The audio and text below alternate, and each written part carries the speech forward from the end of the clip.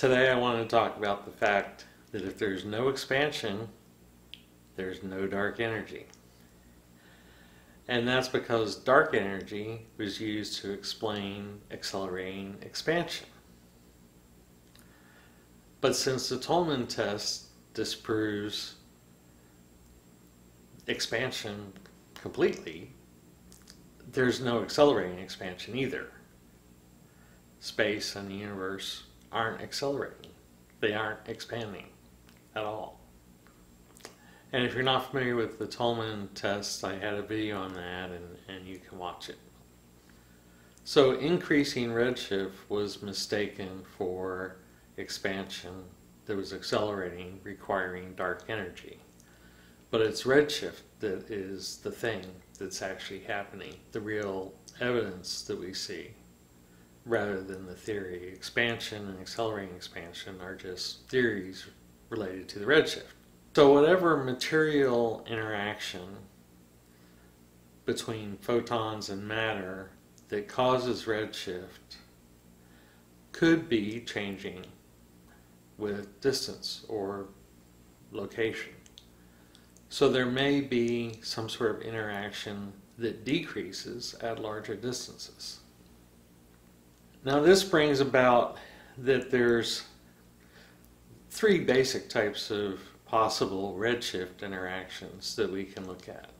One would be direct contact interactions, where the photon it essentially hits matter but somehow without scattering and that causes redshift. In that case you have a highly matter density dependent mechanism. So in an area space with low density, we'll have low redshift, and with high density, we'll have high redshift.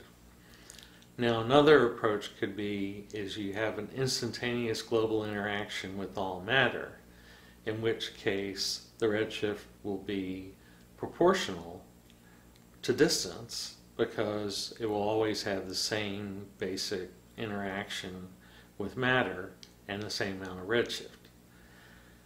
And then a third thing would be you have interaction that's not instantaneous but still global with all matter. It's limited by some velocity, say the speed of light, which means that the longer that a photon is traveling, the more matter it interacts with, in which case you would see an increase in redshift for more distant photons. And so that's not exactly what we see. Um, so that doesn't seem to be the case. We don't have a speed of light limited interaction globally with all matter. Now it's possible you could have a combination of all three forms of redshift going on simultaneously. And that's something that needs to be investigated. So we could have redshift that's decreasing because there's a low density area of matter in the distance in which we're looking. In which case it can be highly directionally dependent. And this also means that a small data set, such was originally used in the 1998 paper, is not really appropriate for making broad conclusions about accelerating or decelerating expansion in the universe. And then, since we're located in a large void called the KBC void, this void has a diameter of 2 billion light years, so it's huge.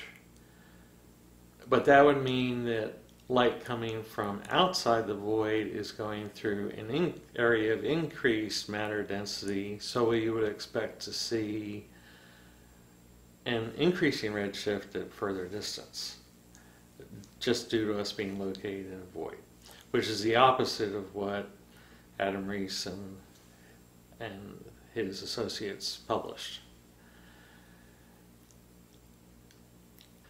So there's a chance that the dark energy was never needed to begin with because the data isn't significant.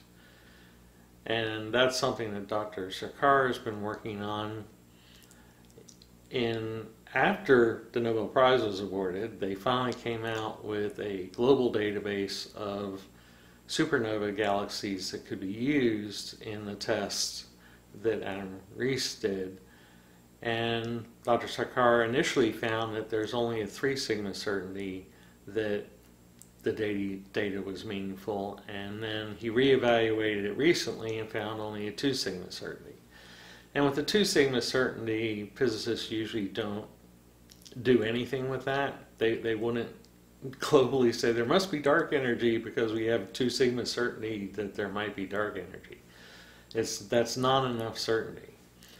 So it's one of these things that might be going on, but we really can't tell.